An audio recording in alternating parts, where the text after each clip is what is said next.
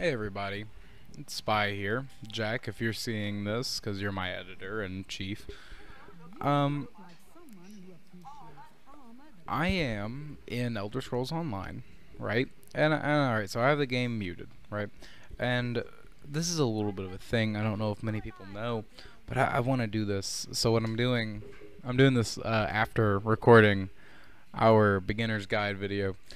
This is like 1 o'clock in the morning quite a bit later. But I wanted to show that you can buy up as many of these, um, what, what they're called is unknown, like region uh, gear. So if you are one of those people who uh, had missed out on some of the exploration, you can buy these pieces up and get yourself some nice sets. And um, I don't know. I just I really thought this was interesting, and I thought we might go ahead and just buy up a region that we don't already have. Um, just why not, right? So let's look at a place I don't have. Okay, I don't have Alik'r Desert as much. Let's see. Let's let's look at some sets here. Which one do I want? Hmm. It's a good point here. Vampire Lord set. You know what? I liked. I would like to get the Vampire Lord set. It comes from Bangkorai. All right. So let's go ahead and buy it up. Let's see what we can get. So, Bangkorai, we have 200,000 uh, 200, of these tokens, so let's just buy up a fuck ton of them. We're to buy 20 of them.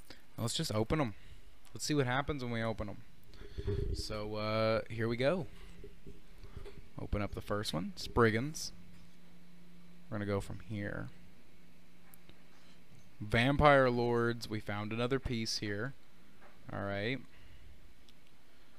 Okay. Spriggan set. Seventh Legion. Spriggan. Vampire Lord again. Vampire Lord. Vampire Lord. Seventh Legion. We got another Vampire Lord. Vampire Lord.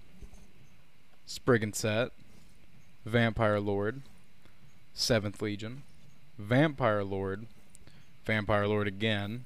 Spriggan. We got a Vampire Lord, Vampire Lord, and Vampire Lord. Seems like our vampire is going to have a lot of reconstructing to do, everybody.